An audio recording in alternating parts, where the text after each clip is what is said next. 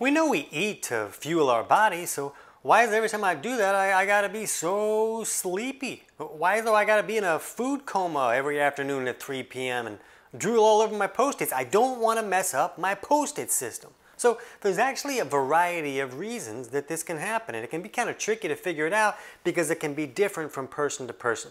So in this video, not only are you going to understand why you're going into a food coma, you're going to understand the steps you can take to correct it. Let's jump in.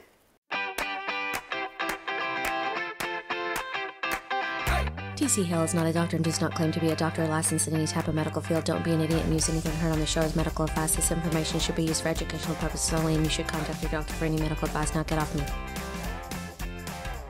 So in the comments section below, let us know which meal is it that you get the most sleepy after and what have you tried to correct this? And now they call this postprandial somnolence and like a fancy name was supposed to make us feel better about it. That doesn't really work out. Just tell me why I gotta be in a coma all the time. I wanna be energized after I eat.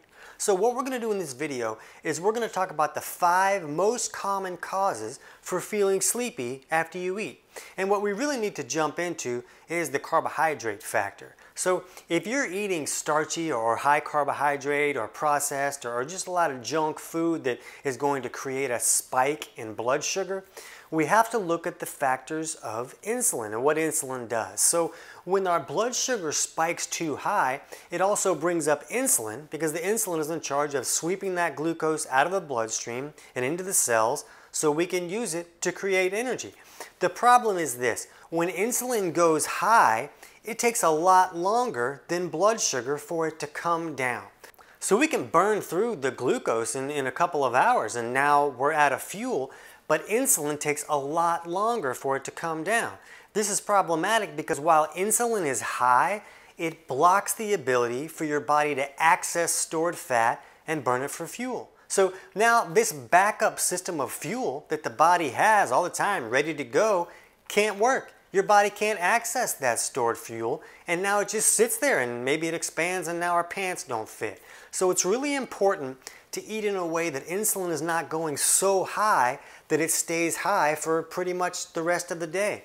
As long as insulin is in a very high range, the body can't access that stored fat. So now we burn through our glucose, we have no more glucose left, but insulin is still too high for us to access stored fat and use that for fuel. So we have no fuel source left. Now we're gonna fall asleep on our desk and drool all over our clothes. This is why most people see that 3 p.m. coma because they don't have any fuel. Why, why would they be energized when they don't have fuel? This is also why a lot of people have a hard time losing weight.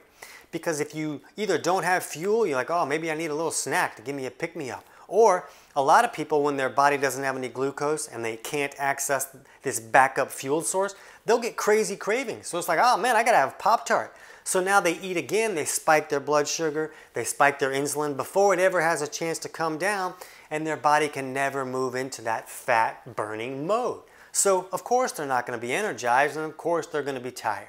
Another version of this problem is eating excess protein, especially if you have a large meal with a whole lot of protein and not very much carbohydrates. When we eat a lot of protein, the body breaks that down into amino acids.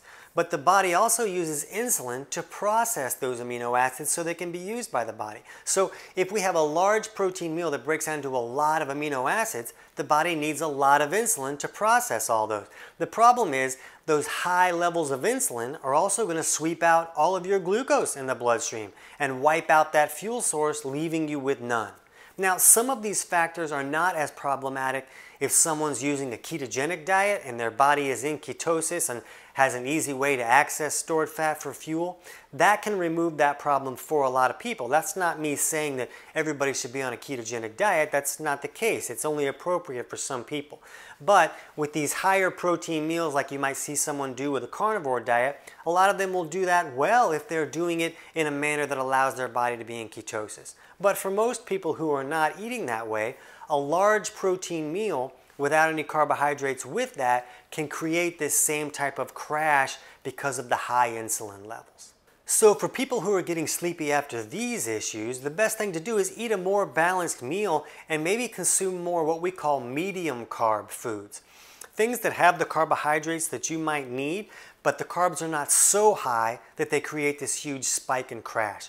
Things like uh, sweet potatoes or yams or, or butternut squash or, or, or Brussels sprouts. These foods contain some carbohydrates, but not in such a way that it's going to spike and crash you like rice or pasta or bread or all these processed carbohydrates would. So when you can eat lower carb foods and include proteins with those foods and some fat as well, and you get that balanced meal, it keeps your blood sugar on a more even keel and doesn't spike insulin so high. The second common cause for the sleepy after meals syndrome, and I just made that up, but I, I like that name. Uh, the second most common cause is oxygen utilization issues. So when our bloodstream leans a little bit too much on the alkaline side, what happens is the Bohr effect kicks in. And we learned about this in eighth grade science class, but then everybody forgot all about it. And the Bohr effect is a situation where when the blood leans too alkaline, oxygen can't get down to the tissues where it needs to be. You can't use that oxygen. So you have plenty of oxygen in your blood, it just can't get where it needs to be so that it can be used. And this is why all the pH gurus are creating a lot of problems for people when they're saying, hey, we all got to alkalize. We're going to die by Thursday if we don't alkalize. Because a lot of people are already leaning too far on the alkaline side. And when they take these steps to alkalize, they push their blood way too alkaline and then they have these oxygen utilization issues. If you want to learn more about that, we'll put a link to our video in the description below about why all the pH gurus are wrong. It's a fun video. So this can be a real big problem because when we eat food, especially protein, our body makes hydrochloric acid. And to make that hydrochloric acid, or, or, HCl, which is stomach acid, to make that our bodies need minerals, especially chloride, to make hydrochloric acid. The body uses chloride to make that. So the body will pull this chloride out of the blood to make our hydrochloric acid to help us digest our food. This can be a problem because chloride is also a little bit acidic and helps to balance out the bloodstream and keep it from going too alkaline. But if somebody doesn't have a lot of mineral resources, the body will pull like all the chloride out of the blood to make its hydrochloric acid, and then the blood will push too far on that alkaline side. So after a meal, if the body pulled all chloride out of the bloodstream, it'll lean too alkaline and we create oxygen utilization issues, and the person can be wiped out. This is usually problematic for someone whose blood is leaning too far on that alkaline side, and we'll tell you how to check for that yourself a little bit later in the video, or if a person has really low mineral resources. So fixing either of those issues can correct the sleepy after a meal issue if this is the underlying cause for you. That brings us right into the third common cause, which is low resources. So to digest our food takes a lot of resources. It takes more resources to digest than just about anything that the body has to do. So if a person has low minerals or, or, low resources, it can almost suck the life out of them just to break down a cheeseburger. The body's got to pull all the resources that's available to use during this digestive process. So it's very common for someone to have low minerals or low resources for a variety of reasons. One of those reasons is that the digestive process is not functioning correctly or well enough to break down the food so that the body can pull the minerals out of that food.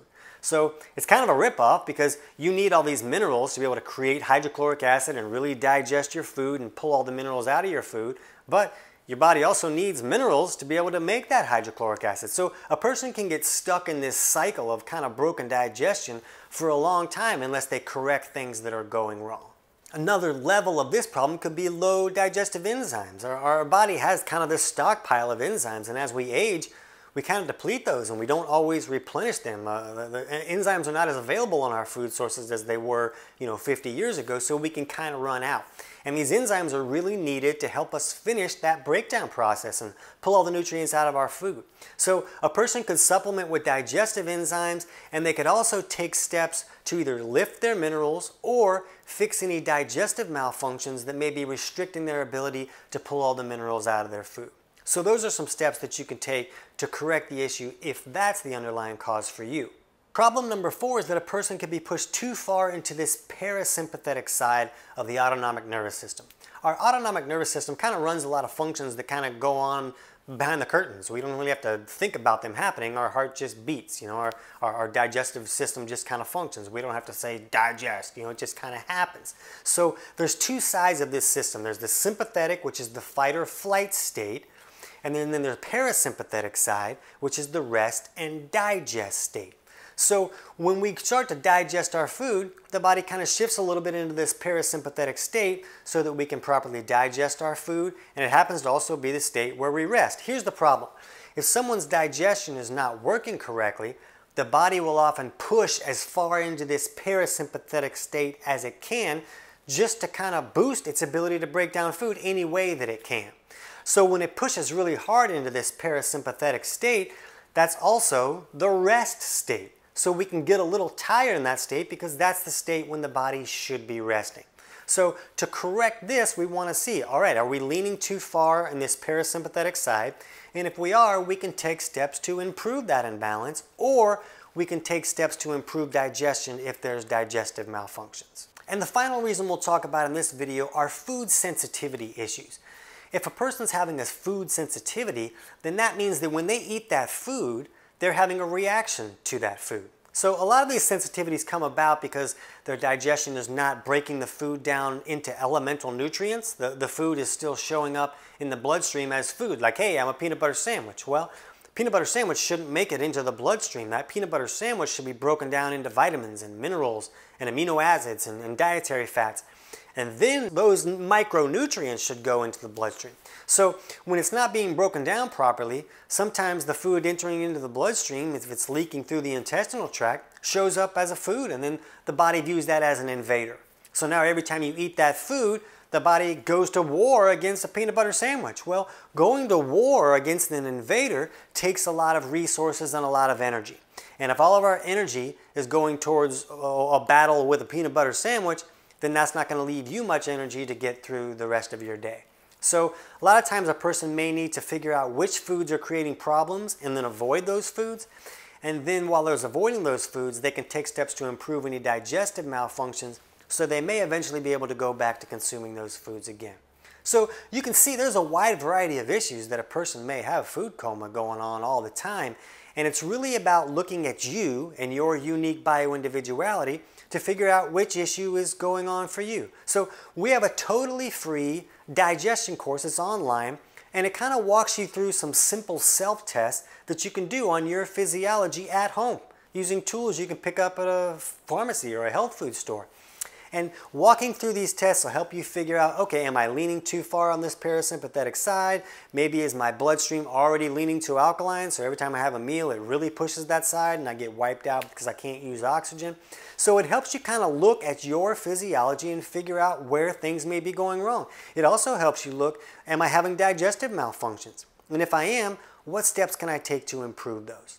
So we'll put the link to that totally free course in the description below. But for now, if you're having any type of digestive symptoms like burping, bloating, diarrhea, constipation, acid reflux, any of that kind of stuff, watch our video on understanding digestive troubles to give you more insights on steps you may be able to take right now.